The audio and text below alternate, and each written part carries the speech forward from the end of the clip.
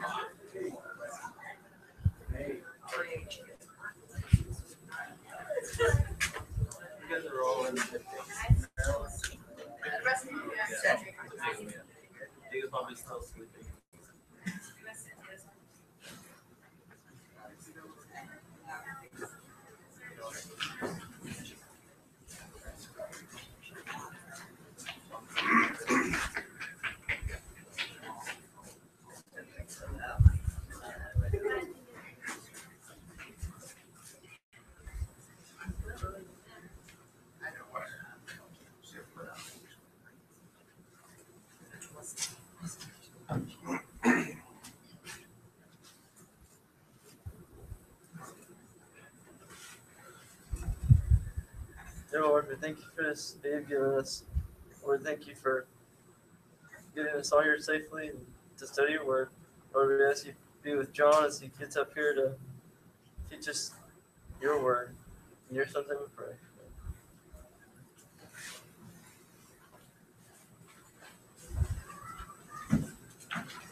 Okay, good morning. It's on? It's on. We are going to start in uh, 2 Corinthians chapter 10, beginning in verse 7. Excuse me. We are, uh, as we get closer and closer to the end, it seems like we're going a little faster to me. I don't know if that, anybody else kind of gets that, uh, that impression, but uh, we'll be wrapping things up fairly quickly except the gospel meeting is going to get in the way, which is fine. Um, so next week we'll probably end up in chapter 11, or finishing up chapter 11, maybe getting into 12. And then the week after that, so two weeks from now, we'll be finishing up our gospel meeting. And then so early April, maybe the first week or two of April, then we'll finish up Second Corinthians and probably go into Philippians at that point. So, um, but faster and faster. Here we go. Uh, Second Corinthians chapter 10, let me read verses 7 through 12. Let's see. Look at what is before your eyes. If anyone is confident that he is Christ, let him remind himself that just as he is Christ, so also are we. For even if I boast a little too much of our authority, which the Lord gave for building you up and not for destroying you, I will not be ashamed. I do not want to appear to be frightening you with my letters, for they say his letters are weighty and strong, but his bodily presence is weak, and his speech is of no account. Let such a person understand that what we say by letter when absent, we do when present. Not that we dare to classify or compare ourselves with some of those who are commending themselves, but when they measure themselves by one another and compare themselves with one another, they are without understanding. We said last week as we got into chapter 10 that uh, the, the tone changes here. And he starts off in chapter 10, verse 1. He says, Now I, Paul. He'd started the book with Paul and Timothy. Paul and Timothy are brother. But now, this last section, it, he says, You know, this is, hey, this is coming from me. Timothy's not responsible for this, I, I think is kind of what he's saying. Because he, he gets in here and he's going to hammer some people, I think, pretty hard.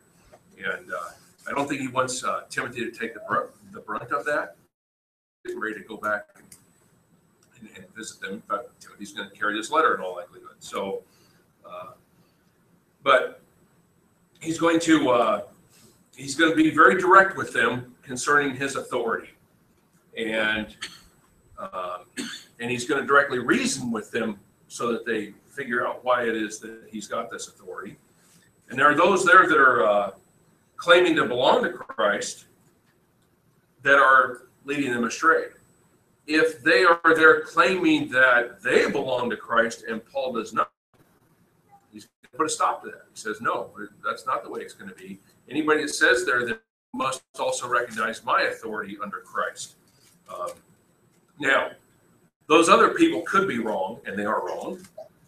Paul could also be wrong. Okay, the, the opportunity exists for both of those to be wrong. The difference is, is that Paul was chosen by God and has the signs of an apostle behind him to prove it. Okay, that's that's the distinction right there. These other people that have that have come there and that are disturbing things do not have the authority, the signs of an apostle that can prove that they are uh, that they can say the things that they can they can say. And the and the real problem here is that those people are dragging the Corinthians away from the truth. And we're going to make that point several times here. In fact, as we go through this, um, I, I think Paul approaches the problem here from a bunch of different perspectives. And I, as I as I go through this, it seems like to me I'm making the same point over and over again, just with different different direction that he's getting to because he's getting to the same point over and over again, and he's doing it, um, you know, kind of attacking the argument from all sides, so that it can be very clear to them that he's got the authority uh, that they need to recognize. Okay, but then he goes on. Uh, so, which of them belongs to Christ? One or both could be wrong. Paul had the signs of an apostle. The point of having the authority is what? How does how is Paul trying to use his authority? What's he trying to accomplish here? Them. Build them up. Okay, he's trying to build them up, not tear them down. Okay. Uh, and he's not ashamed that he's got this that the authority has been given to him to accomplish that. Now, sometimes to build somebody up, you have to tear them down a little bit first to get them to understand the position that they're in, that they are in, and the position that they need to be in. Okay, and so that's what. So there is a little bit of tearing down here going on, but but the point of it is is to build them back up. So is Paul who who's undermining whom here? They're undermining Paul. Okay. How does he how is he going to end up going about to understand who's got the proper authority? The proper authority.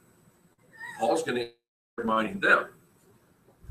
He's going to do that by using the techniques that we kind of talked about last week and that are mentioned just above this in the first part of 10. The tools he uses are reason to destroy arguments and lofty opinions, knowledge of God, self control, and punishing the disobedient. We mentioned all those last week. Those are the tools he's going to use to do it. And those are legitimate tools to be using to accomplish what he's got to do. The problem is that they have been using, his detractors have been using false reasoning to accomplish what they want to accomplish, to undermine him. He's going to use proper reasoning. They, they do not know what they are talking about, okay? Because they're, they're spreading things that aren't true. Do you see any uh, application to folks nowadays who say, uh, if Jesus didn't say it, then uh, Yeah, it- I, I think so. Um, It, it's almost a self-obvious thing to me, but you say those dumb questions? But it, it is a dumb way to approach the Gospels, isn't it? And, and that's the thing is, if you don't understand what uh, what Lee's saying there, there are people out there. Look, Jesus didn't actually say that. Therefore, homosexuality is perfectly okay. okay? Jesus never condemned it, and and you can go down a whole list of things that people that you see churches um, letting into their brotherhood that just that are things of error. And they're doing it by, well, Jesus never taught directly on that. Well, if you accept that, then if you accept that line of reasoning, then every kind of um, teaching, false teaching is acceptable because you'll eventually get around to dismissing everything that's taught. Yeah, go ahead. It's just as, uh, I can't remember what it was, uh, I think it was in Romans, where Paul gives his opinion instead of giving, um, something that he was told to, uh, speak. Yeah, yeah, Paul's still using his authority and his wisdom in applying that thing. right, So we should still take heed as just as much as if right. it was coming from. He does that in the realm of marriage, Yeah. is what comes to mind right away. But you know, at the end of uh, at the end of I think it's in John before Jesus dead, he says, you know, there's a lot of things you need to learn that you're not ready to be taught. But after I'm gone, I will send the Holy Spirit. Okay, and He will direct you into all these things, so that okay, well, the rest of the New Testament is the direction into all those things. So it has the endorsement of Jesus behind it. So when somebody says, well, Jesus didn't say it. No, Jesus told this, you say it. okay. So the authority is still there.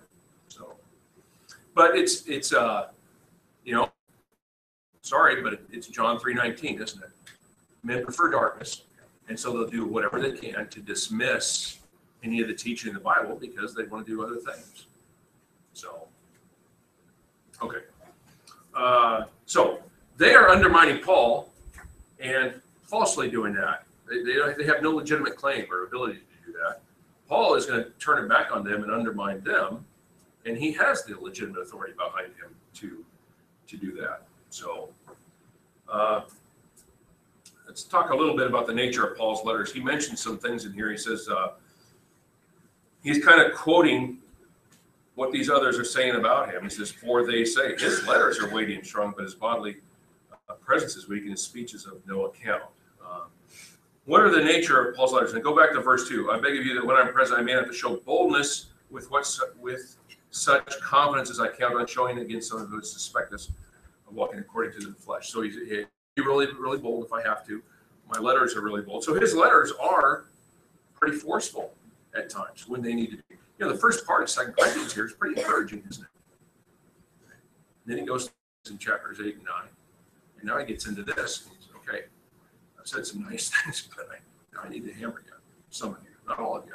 But there were people there who were leading others astray, and there were some who were being led astray.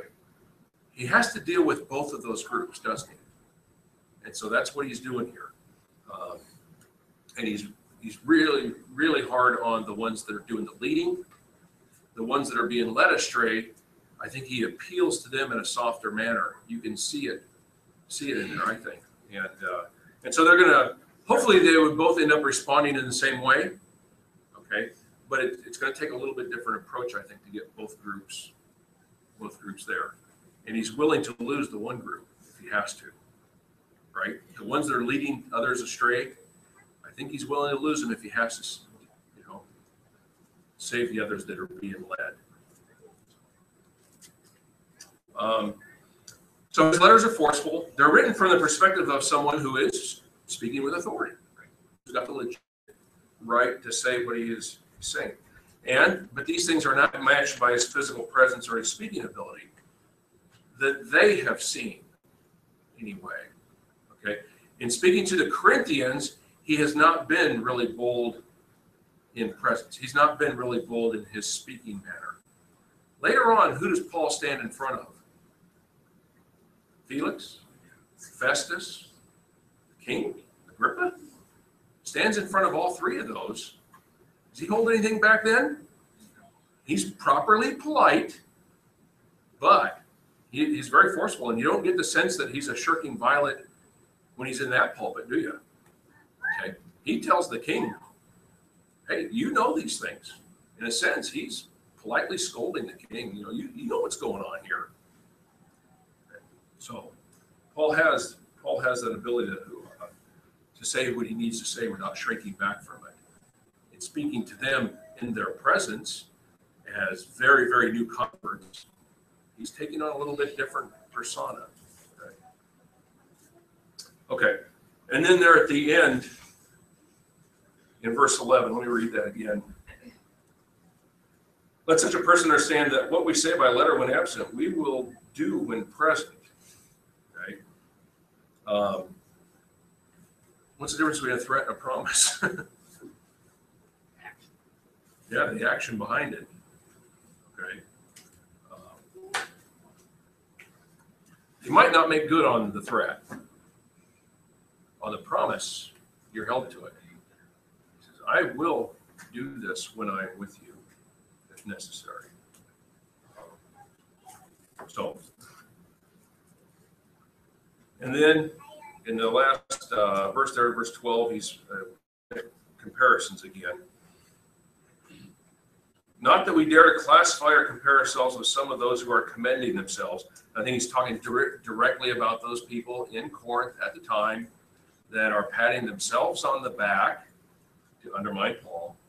But when they measure themselves by one another and compare themselves with one another, they are without understanding. Just they are they're just flat out ignorant.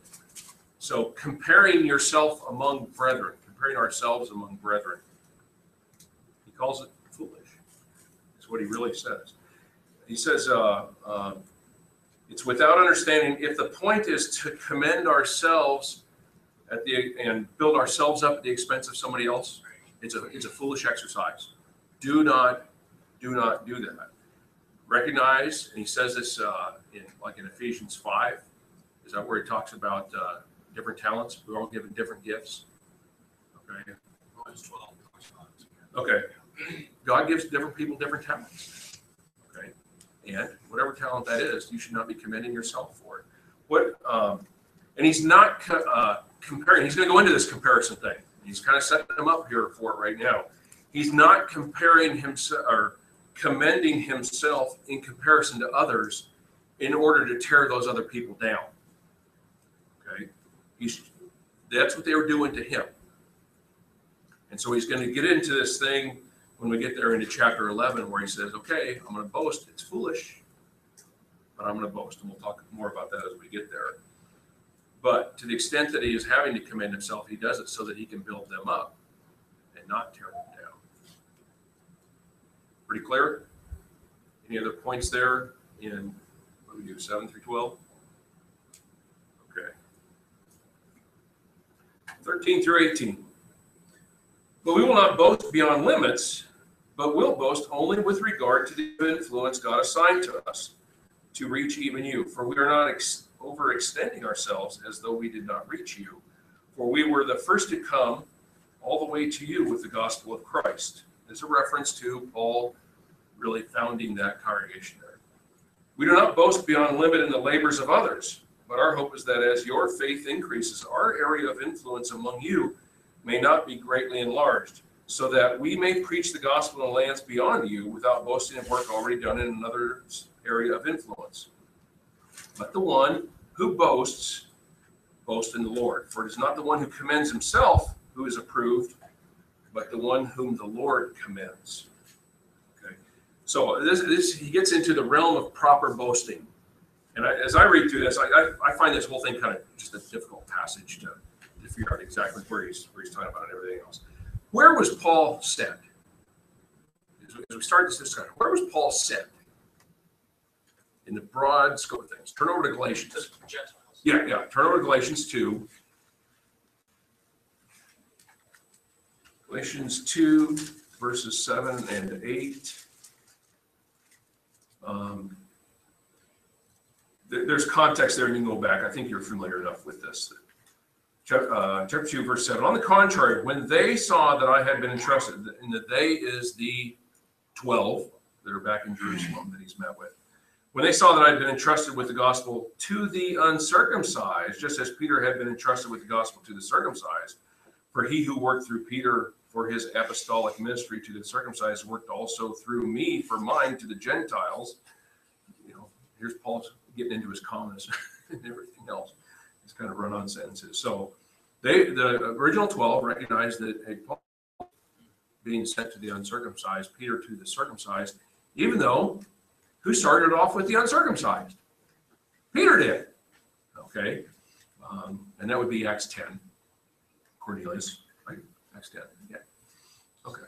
So Paul is being sent to the uncircumcised, the Gentiles, okay, the foreigners. And um, so it, he's saying, I'm not going to boast beyond limits, boast with regard to the area of influence God assigned to us, which is to the Gentiles, even to you.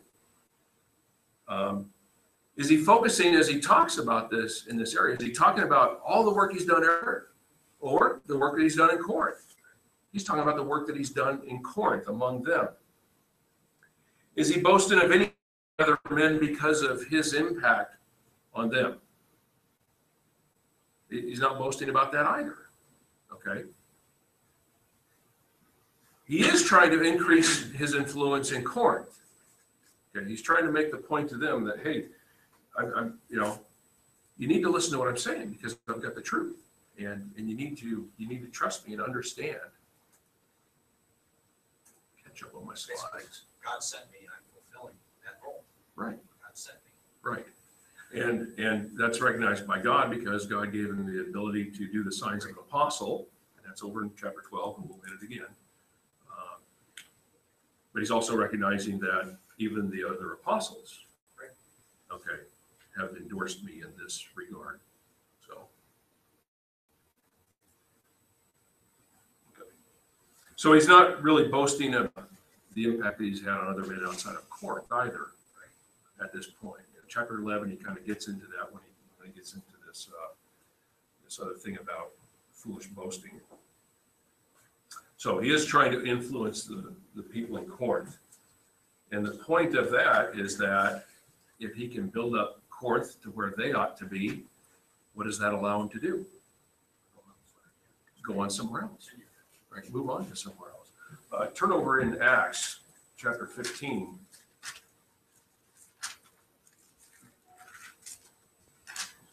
Fifteen, twenty, and twenty-one. That's not it. Why do I have that?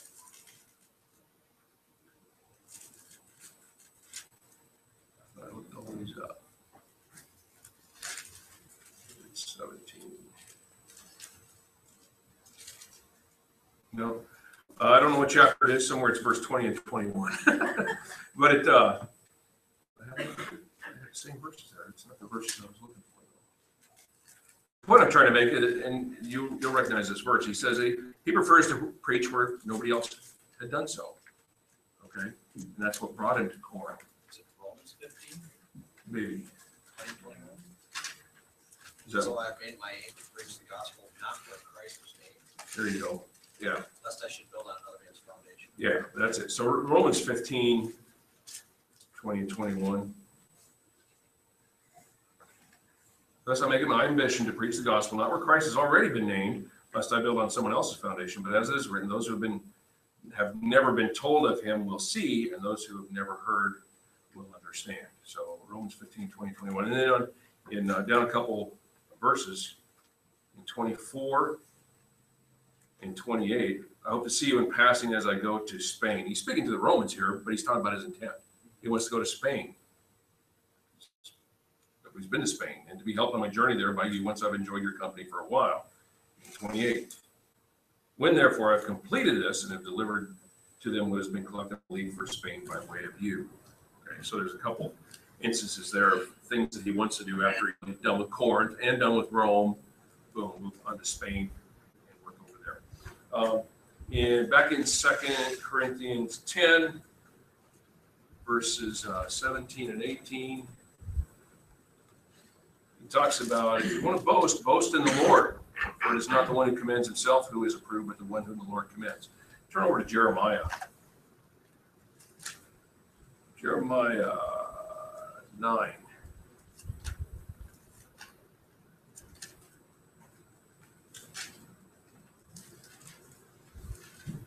Verse 23 and 24.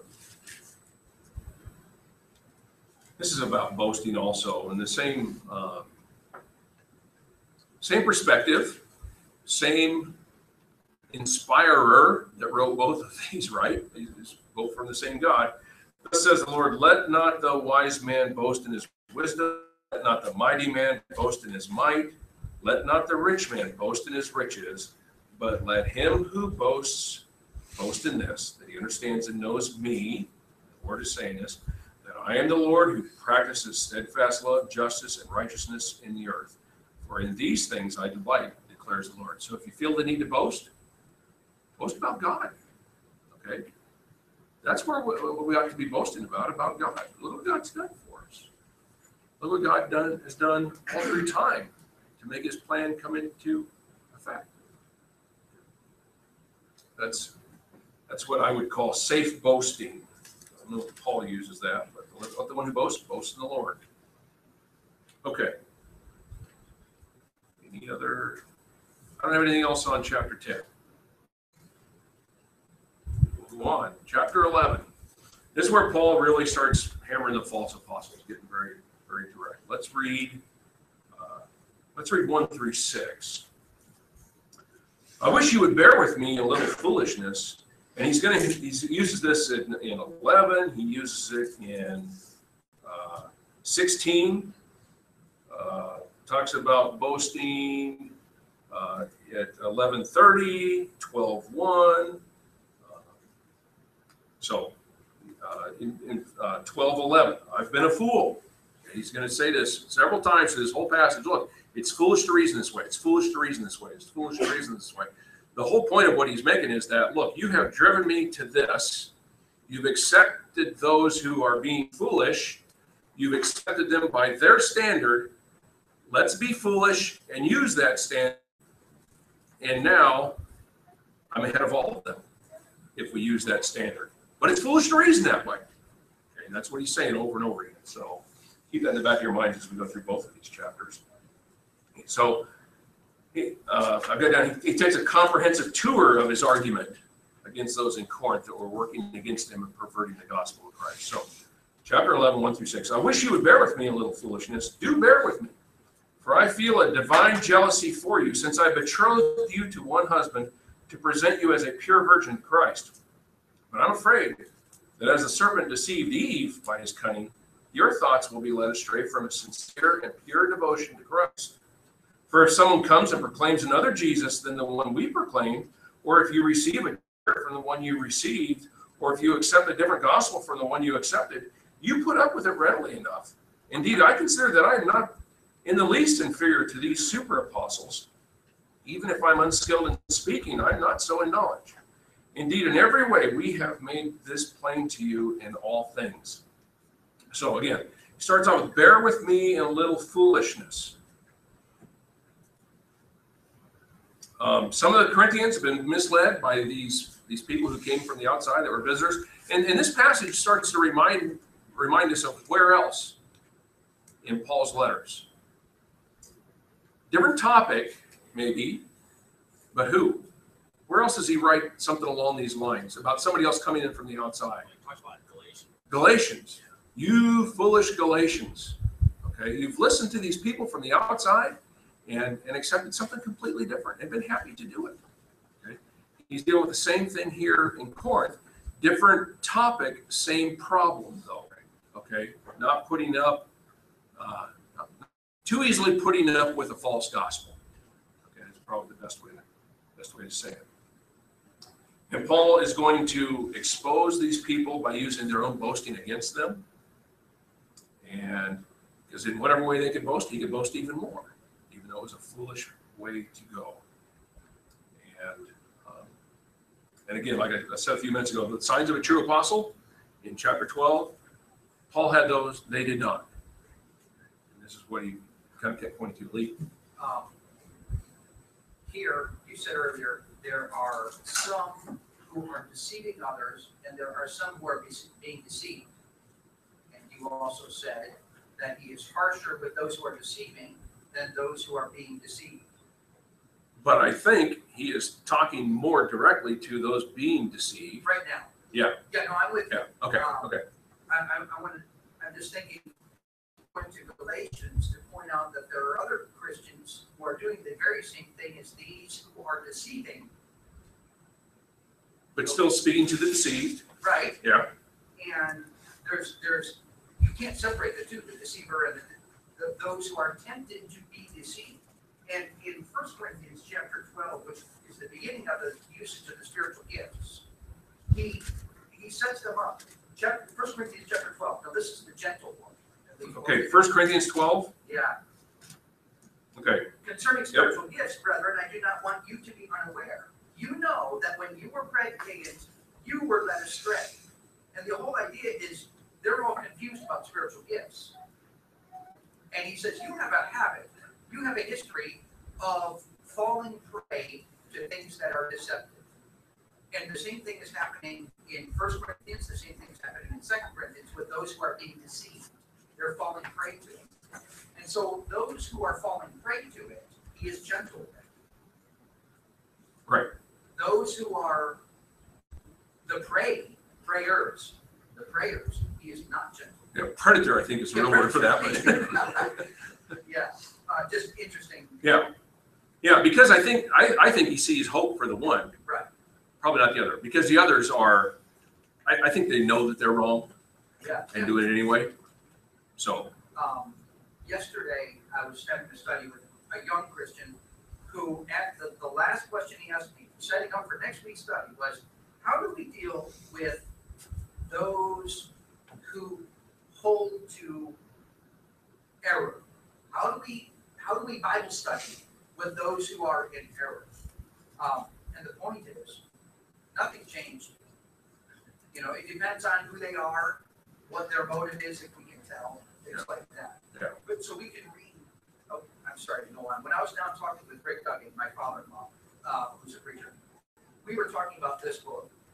And basically, we're saying it's really a manual on how to deal with people who are in error and whether or not they are intentionally in error or just being deceived. Right. And, and those are kind of the two categories, aren't they? And how do you deal with the one? Are, are, are you going to be able to really deal with the one? Now, in, uh, in, uh, back in Acts, when, uh, it- is it Peter that deals with Simon the sorcerer or Philip? You know the situation where I'm talking about, right? Okay, so Peter's dealing with Simon the sorcerer and saying, hey, I'll give you money if you give me that power, right? Okay, now, he's pretty harsh in response, okay? If Simon had not been at least honest in his approach to things, now, he was completely wrong, but he was coming from a pretty bad place too, okay? If Simon had had instead of accepting Peter's challenge, he, you know, he, I think he accepts Peter's challenge. That hey, pray for me that this doesn't happen. Well, that's a pretty honest reply. Okay, he's got, I think, a good heart for eventually doing the right thing. If he had responded, "Who do you think you are?" Okay, now we got a different matter here. Now we got a different matter, and now it's maybe time for strike Elymas blind, Right. a kind of a situation where people would be very direct. Hey, this is the authority I've got, and, you know, and deal with him that way. But he deals with him two different ways because it's obvious his heart is at least ten toward the right place. So there's the motivation of the person who is uh, committing the error or teaching others error and trying to figure that out. Right, It's the heart of the predator. Yeah, Yeah, I mean, Yeah. we can't read into their hearts. Paul likely knew more than we, you know. Right. He's gonna preach to them the same as, in a sense, the same as he would to those who are being deceived. Yeah. To maybe persuade them back to. right. So you've got the predator over here, and you're going to deal with him in one way, and you've got the prey over here. What is he lacking? Well, knowledge and wisdom would be kind of the two things that I'm, I'm looking at there. He, he doesn't know. He just doesn't know. And so you have to explain that to him. Just like, you know, when our children don't know something, they come, I don't understand what you, mean. okay, let me explain it to you. So, Predator may not know to a certain degree as well. and so there's a time for patience, especially, you know, we, we can't speak with the authority and the knowledge of Paul or Jesus when they deal with these things. Right. At all. Right. And so we have to use reason, okay, and patience, And yeah, and, and at some point it becomes clear that we're throwing our pearls before swine. Okay? And and that's that's up to our wisdom to to decide what that's gonna be, Alan. Too often, you're exactly right, we have to be patient. And we don't have the wisdom of Paul, and we don't have the insight of Peter and all that, which is obviously true. At the same time, and so very often I hear people run with that. And the, the, the unnecessary conclusion they come up with, then we just can't do anything. Yeah.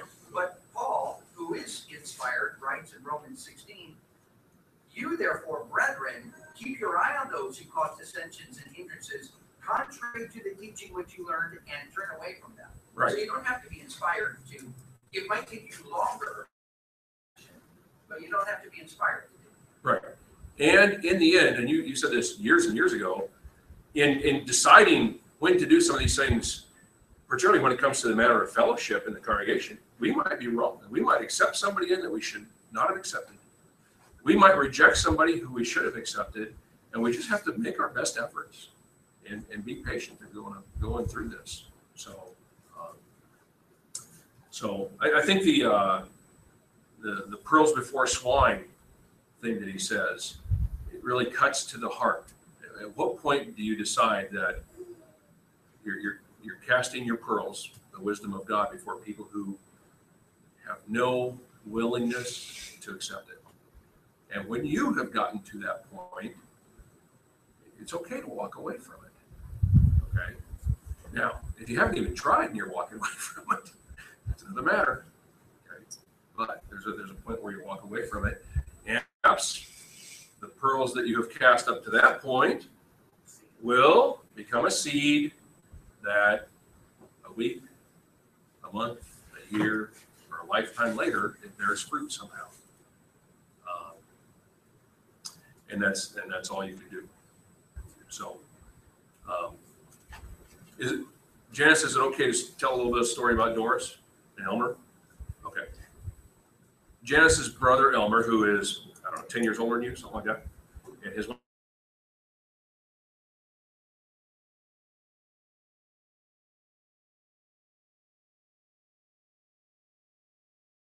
Doris was here, he's a hoof trimmer at a, a huge cattle operation that has like a hundred thousand cattle. Okay, okay. Um, part of the idea of going down there was to start a Mennonite community also. In the meantime, there was nothing there other than one little church of Christ. And that's borne fruit. So, and after a period of time, he was convinced he needed to be baptized and was. And she was telling him, you know, kind of, I'm, I'm going to put a whole bunch of things together. You're crazy. We don't do that. And eventually she got to thinking, and now they've both been baptized. Okay. Now, who knew, who in the process, there was a Christian who had an influence on them, knew when that was going to happen? Or what it was going to, no, no. That's, that's God planting seed. Okay. And having it come to fruit because they met a group of Christians who were patient with them and loving with them and kind with them. And it, it's borne fruit. So, They kept going. Yeah. People ask, why don't these people? They don't keep coming. Fellowship takes care of itself. so, um, so that, that's what we're about.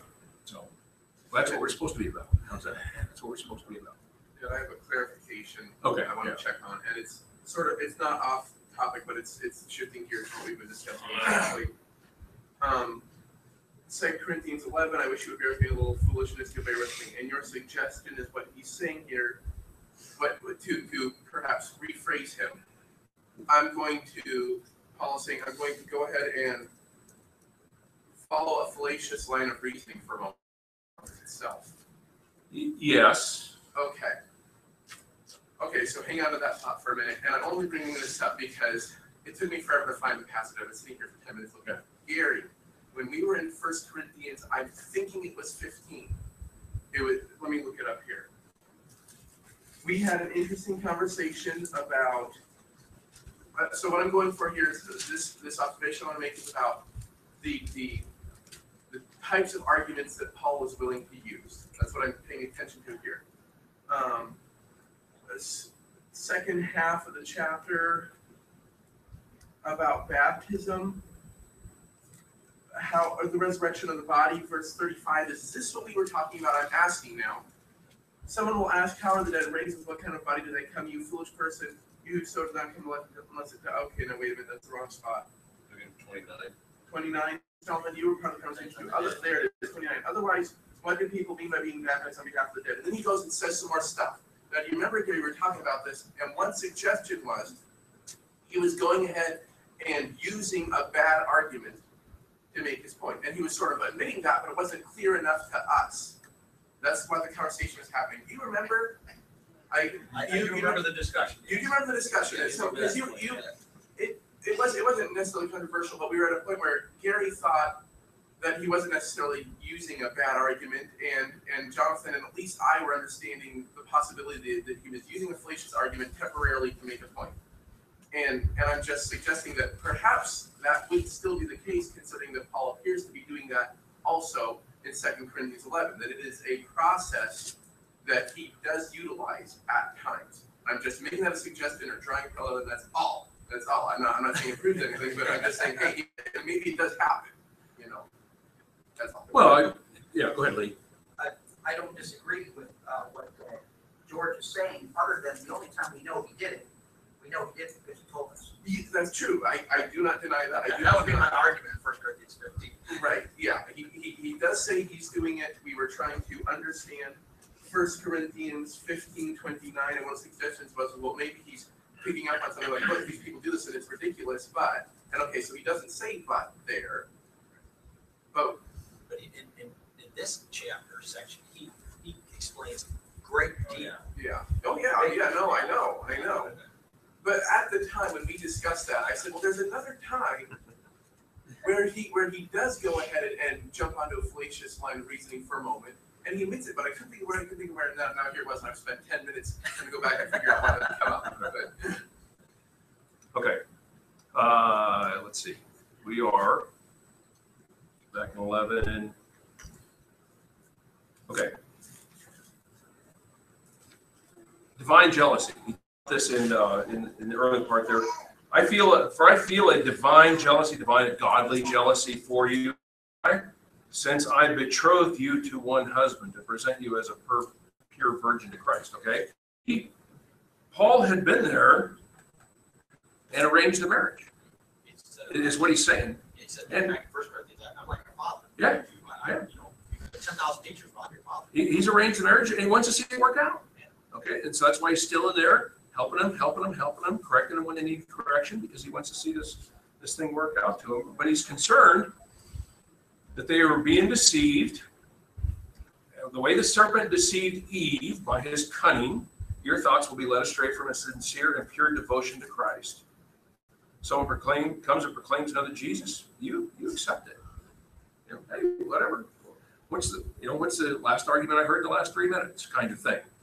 Okay, now it's another three minutes going on. Somebody's arguing something else. Oh, yeah, I'm with him. Uh, yeah, I'm with him. Uh, Paul's saying, you know, you're not, you're, you're getting away from what the truth is. You need to stick with the different things. And so he's concerned that they've accepted a different Jesus than because they have, they've been taught by somebody who's in error about something that wasn't true about Jesus. Well, if you teach falsehood about Jesus and convert somebody to that falsehood, they're not following the real Jesus, they're following a false Jesus. Okay? Look at the denominations in the world. As I say, nothing new under the. Yeah, there is nothing new under the sun. I- mean, it's been going on for two thousand years now. But look at what some of the other, the others teach about Jesus. Salvation by faith only is the biggest thing going. Some of the things are just unrecognizable. Unrecognizable. So, um, a different gospel. Okay. I was talking to somebody in this room not too long ago, a visitor, and it was something about, uh, um, real Israel, old Israel. You know, it was, it, just got so weird. I just don't even want to, you know, it's like, what? I mean, did I just hear that? There's some ideas out there that you can find anything on the internet. So, okay, so a different, different gospel, a different spirit, all of those things. And these things all exist out there. How is it that they exist? Why are they still out there?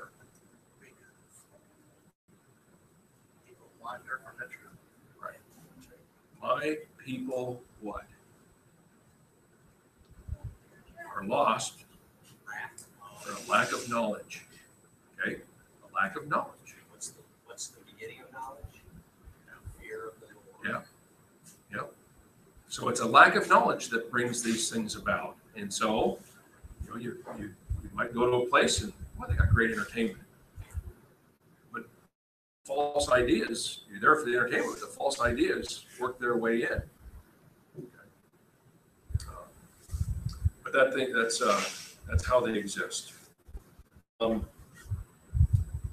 They're ready to accept it. And here's, first, in First Corinthians chapter three, he starts way back then dealing with this a little bit. Just read chapter, uh, chapter three, verse two. I fed you with milk, not solid food, for you were not ready for it.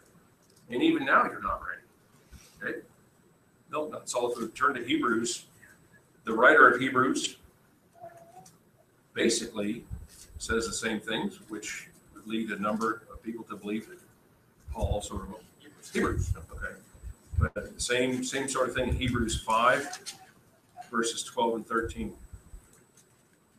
For by though, for though by this time you ought to be teachers, you need someone to teach you again the basic principles of the oracles of God.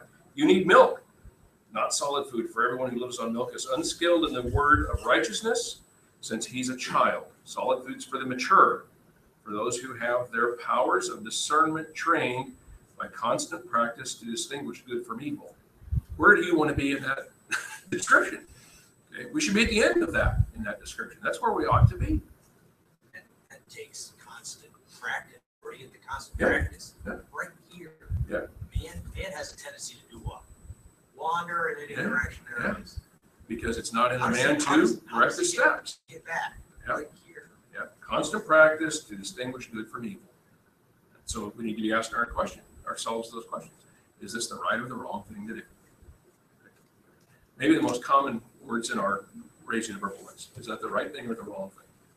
I, I think I've said this before, very early, they caught on that whenever I asked that question, it was because we wanted to point out the wrong thing. Okay, so I don't know if they looked at it anymore, it's now the wrong thing. It took a while for me to catch up and start asking when I saw somebody do something good, is that the right thing or the wrong thing? You'd see the gears turn, it seems like the right thing, but the answer is always the wrong thing. That's when I think the real teaching started to finally happen. Back to First Corinthians three, three, he talks about the reason that they still needed milk. You are still flesh. For while there is jealousy and strife among you, you are not of the flesh, behaving, uh, are you not of the flesh, and behaving only in a human way. For when one says, I follow Paul, another, I follow Apollos, are you not merely be, or being merely human?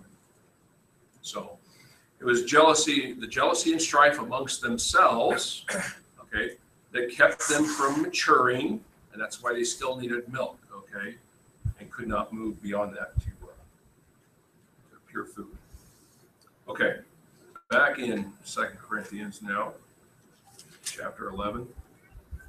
Um, th- this next section has to do with the super apostles, what my translation calls the super apostles. So I'm going to quit uh, because there's a there's kind of an extensive. Uh, I, I don't want to get into this big idea in three minutes, so let us stop right there. Close enough. We'll just uh, break and pick it up at on the hour for assembly. Thank